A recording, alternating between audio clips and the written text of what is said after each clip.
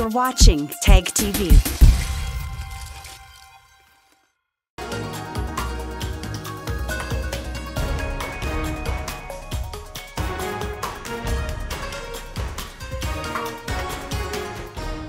Hello viewers, I'm your host Uzma Jafri with another episode of South Asia Focus. Let's begin the show.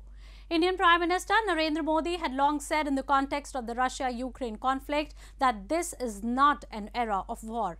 And today, after having endured the crippling geopolitical and economic fallouts of the fight, the world, especially many NATO countries, have become increasingly cognizant of the fact that PM Modi was spot on in his analysis of the situation. With the war seemingly heading a dead end, it is in the interest of all to refrain from creating rifts and participate in the process of procuring peace and prosperity for all. Join us as we take a closer look at India's efforts at securing peace and harmony and how it is the only country that stands a chance of resolving the Russia-Ukraine conflict.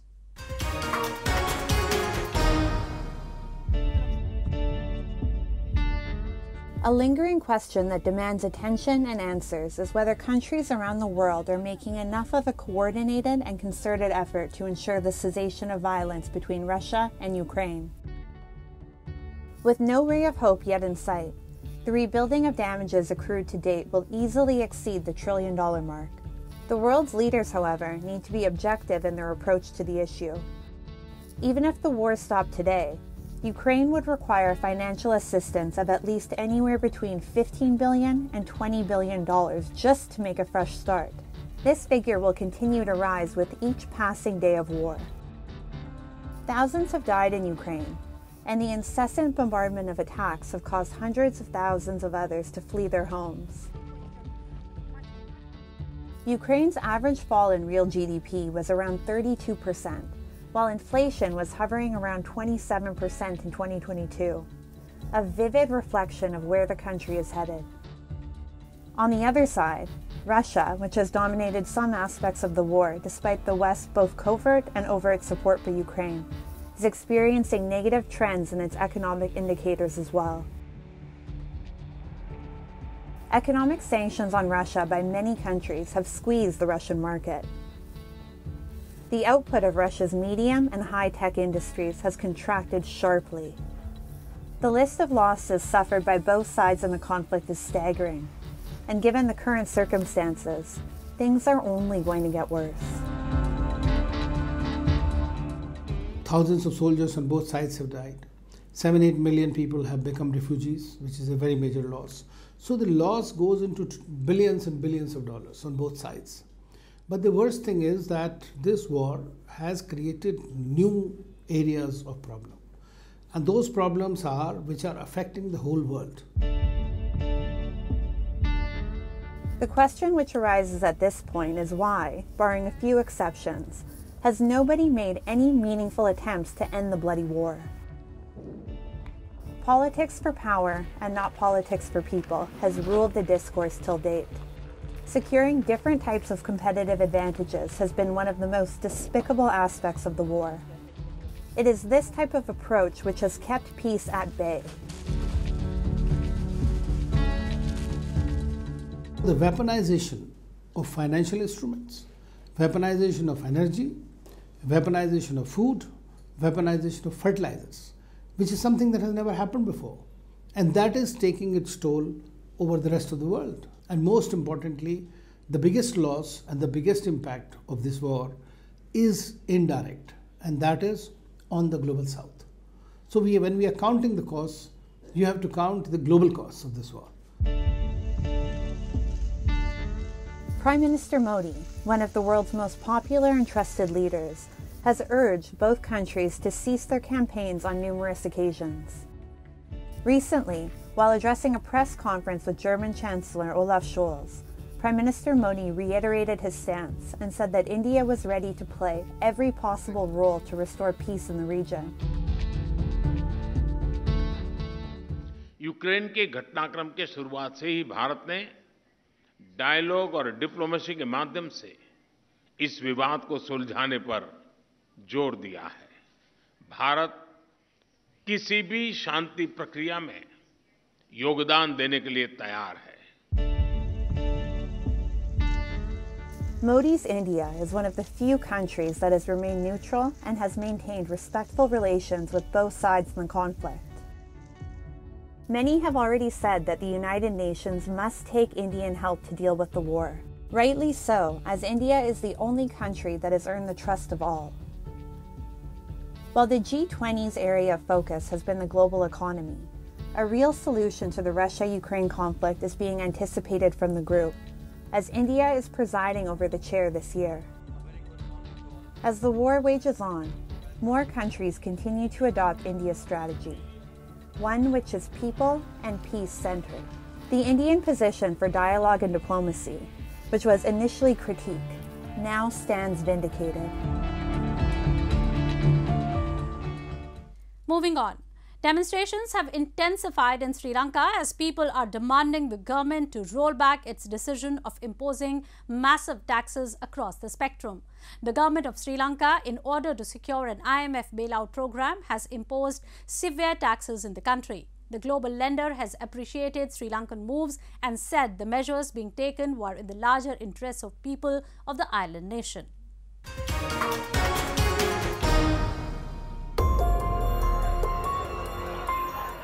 Massive demonstrations were recently seen in Sri Lanka capital Colombo as trade unions across the country stepped up their protests against what they call the government's draconian policies to further marginalize the poor of the country.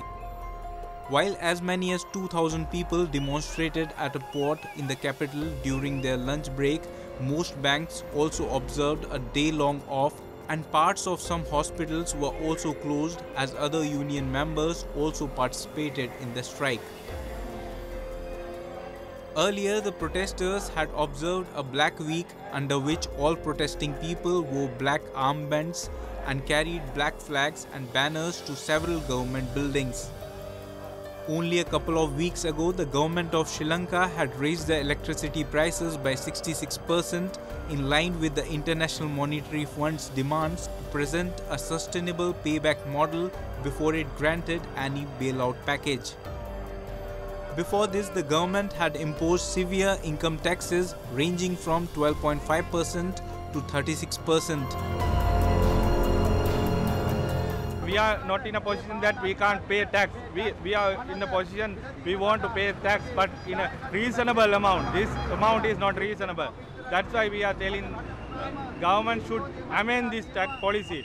Otherwise, we will go for another strike or another uh, major action, maybe a continuous strike.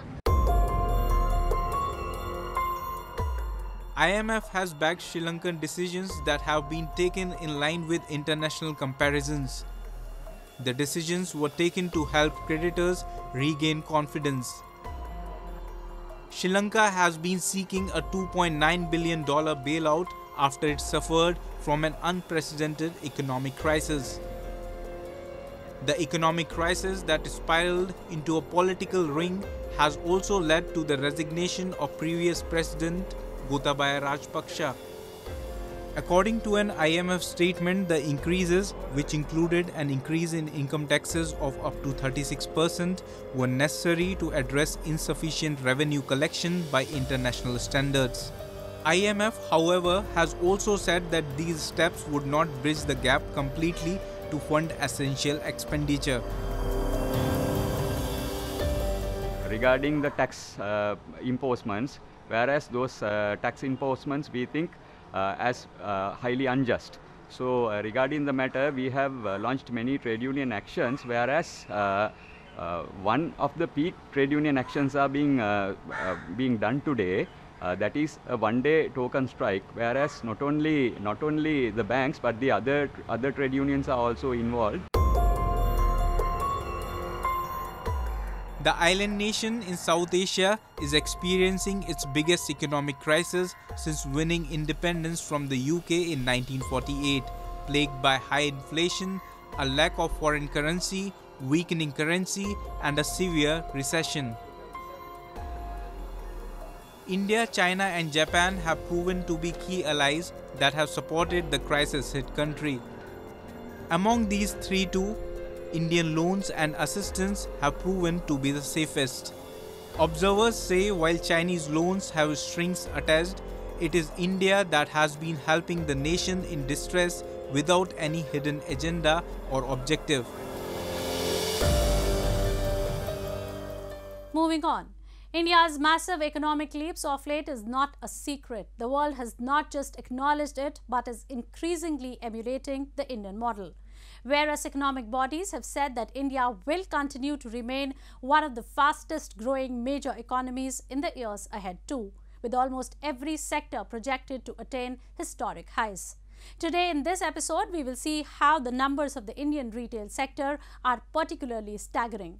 The Indian retail industry has not just moved with the time, but is now among the best in the world in several aspects. With the economy successfully rebounding from the pandemic and its after effects, Indian consumers have hit the markets.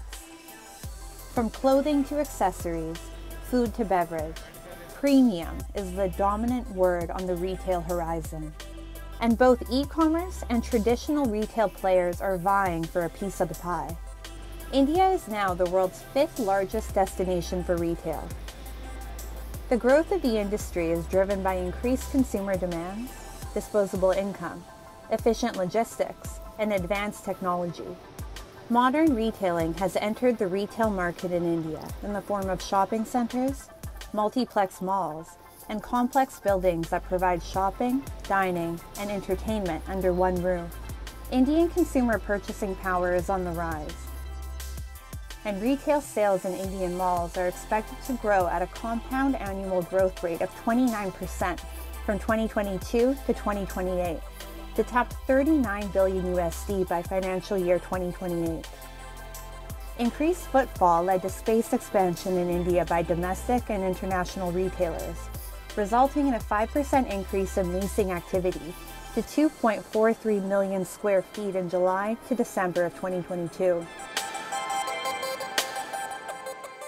Uh, many of them don't necessarily come every time to the store to buy the material. Uh, we have an app, uh, we do a delivery, they can see the quantities, they can see the prices, uh, they can track their orders so we try and service them so that portion is completely uh, you know driven by e-commerce or online India's retail sector is set to experience a boom due to an unprecedented increase in domestic product consumption. The industry is on track to grow at a rate of 9% over 2019 to 2030, from 779 billion USD in 2019 to 1,407 billion USD by 2026. The industry is expected to cross 1.8 trillion USD by 2030. E-commerce has also gained significant traction in recent years. E-commerce has reduced the upfront cost of traditional stores, provided access to a larger clientele base, and has given wider space for visual merchandising through online publishing. The government's initiative, Government e-Marketplace, GEM, has fulfilled 12.28 million orders worth 40.97 billion USD from 5.44 million recorded sellers and service providers. GEM started in 2016. Initially, there were some, uh, you know, hiccups, but it came out very, very well. And people have definitely helped a lot. You know, it's really, really streamlined, streamlined the entire system for buying and selling for government. It's become more transparency. India's retail sector is experiencing increasingly larger investments as well, with 4.11 billion USD in foreign direct investment between April of 2000 to June of 2022. Recent large investments include Google expanding its cloud infrastructure in India, taking a 3.81 lakh square foot data center on lease in Mumbai, Flipkart opening a logistics arm for other e-commerce firms, and Keystone Realtors signing agreements to jointly develop a 1.5 acre plot in Mumbai's Mahim.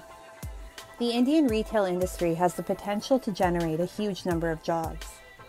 As per a recent NASSCOM report, Indian retail will add more than 25 million jobs by financial year 2030. With many milestones already achieved, and with many more in the near horizon, India looks forward to becoming the global retail hub, further propelling Brand India. Time now for Asia this week, the stories from across the continent.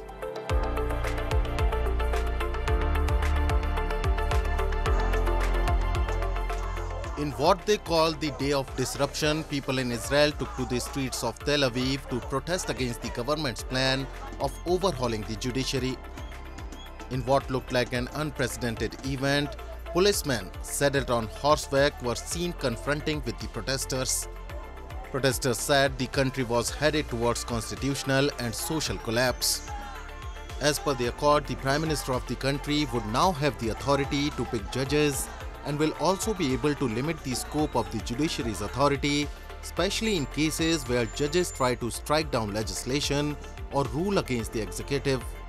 Following the formation of his coalition two months ago, Prime Minister Benjamin Netanyahu pledged to his allies that he would restructure the judiciary and solidify Israeli authority over the West Bank, where Palestinians seek to build an independent state. Netanyahu, who has been on trial for corruption, says the changes that his government has been trying to brought will restore balance between the branches of authority running the country. While he said this would attract more investment, many have said that this could harm Israel's reputation as a favorable investment destination.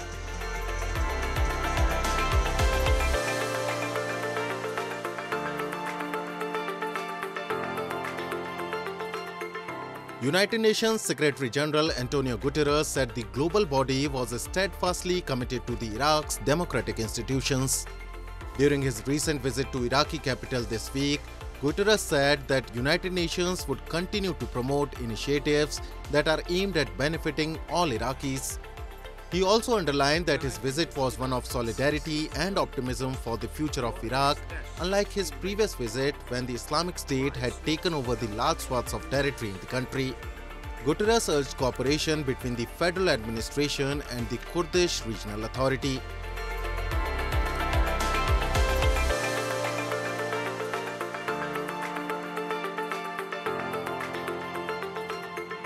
Japanese firm JCB is one of the most reliable credit card brands all over the world. The total number of people using these credit cards is 150 million and annual transaction volume goes to about 37 trillion yen. Starting as the first international payment brand based in Asia, the firm contributes in expanding the global payment industry. In India, JCB has issued 1 million RuPay cards its market is expected to increase to 30 million in next years. JCB's strategy will help in accelerating commerce and contribute to the global economy in a number of different ways.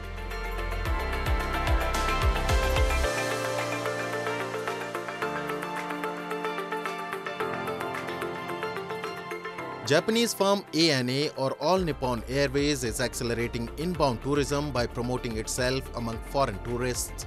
During winters last year, the firm collaborated with Kimono Mom, a popular YouTuber with a subscriber base of 1.4 million. Tokyo and Kyoto are two destinations in Japan which are visited by many visitors. Apart from scenic views, authentic food and beautiful culture, these places are a sight to watch in different seasons. Dogo Onsen in Shikoku is a famous hot spring resort. This town is attracting a large number of tourists. The culture of geisha has flourished in these hot spring resorts, which include traditional music, dance, and games for the recreation of the visitors. As Japan is surrounded by the sea on all sides, seafood is a major part of Japanese culture. Fresh seafood from Seto Inland Sea is enjoyed on barbecue. Visitors interact with locals which make their traveling even better. Hokkaido is also a popular tourist place which attracts many tourists throughout the year. It becomes a snowy region in winters. Tourists enjoy beautiful winter scenery and skiing. It is crowded with foreigners visiting ski resorts in winter. Japanese hospitality is always good. Customer service is is usually the best. Really, I, I love Japan. I, I used to backpack here every year. ANA has released tourist information along with influencer Kimono Mom through its website and official SNS. This is Kimono Mom. Uh, family winter trip in Japan on ANA. ANA's inbound introduction has contributed greatly to tourism industry of Japan and is taking Japanese tourism to new heights.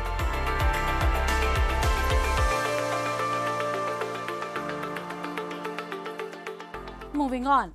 The National Mission for Clean Ganga, a Government of India undertaking, is successfully endeavouring to make the country's holiest river clean. Our show, South Asia Focus, showed you some three years ago how the work was being done on war footing to accomplish the mission of Clean River and today the change is there for everybody to see. From top authorities to the visitors, everybody is hailing the remarkable change that is essentially conserving the culture of the country.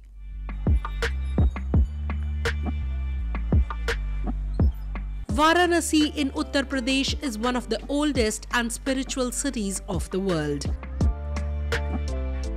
It is said the city of Lord Shiva. Varanasi is the gateway to heavens. Situated on the banks of the holy river Ganga, it is the most sought after pilgrimage site for millions of Hindus living in India and abroad. Every day, lakhs of pilgrims and visitors come to the city to take a holy dip into the pious river Ganga. For them, it is one of the most sacred events of their lifetimes. Upholding this faith of millions in the holy waters of River Ganga, National Mission for Clean Ganga NMCG dutifully took up the onus of keeping it clean of solid waste, untreated sewage and other pollutants. Depending upon the uh, the the uh, uh, capacity, we had actually uh, diverted and alloc made allocations of the sewage distribution also on various uh, uh, various STPs. the the the the old trunk line, which was actually many of them the, the, the trunk sewer lines which were laid, they all many of them were choked and not functional properly. So that has been cleaned up and uh, living trunk uh, has been laid. So, a lot of sewage network uh, and cross allocation of the sewage in various districts have been done to ensure that the STPs are functional. Now, as of now, uh, there, there should not be any uh, outflow of, uh, of, of sewage directly onto the river anywhere. The newly constructed Namo Ghat by the government is witnessing a large tourist footfall these days. Sculpture of folded hands depicting greetings to the most pious river of the country has become the main tourist attraction. Apart from several Ganga cleanliness projects taken up by NMCG, a special emphasis is being laid on modernization and renovation of ghats along the river Ganga. NMCG has rehabilitated as many as 26 ghats in the city of Varanasi. The visitors seemed elated and satisfied with the efforts done by the NMCG in renovation and maintenance of ghats along the river Ganga. देखने पे मुझे ये लगा कि पहले से अब में काफ़ी चेंजेज है नमो घाट तो बाद में निर्माण किया गया, लेकिन बहुत अच्छा बना हुआ है। साफ़ सफ़ाई का भी विशेष ध्यान रखा गया है। मेंटेनेंस चारों तरफ़ बढ़िया है। बाकी घाटों का भी जीर्णोद्धार किया गया है। क्योंकि पहले मैं आता था तो देखता था, जब बाढ़ वगैरह पानी ज़्यादा ओवरफ्लो होता था तो घाटों की सफ़ाई उतनी नहीं हो पाती थी। लेकिन इस समय क्या है कि पानी जैसे ही नीचे आता है युद्ध स्तर पे उसका काम होता है और साफ़ सफ़ाई का विशेष ध्यान रखा जाता है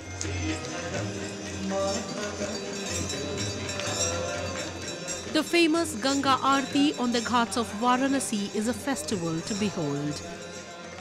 Thousands of tourists and pilgrims crowd the ghats to witness the scene of illumination. This also showcases the faith and reverence the people have for the river Ganga. Keeping this faith alive, NMCG is instrumental in maintaining the sanctity of this city and the pureness of Ganga waters. The river holds great significance in daily lives of millions of people who live along its course. With that, we come to the end of this week's episode. See you next week. Goodbye and take care.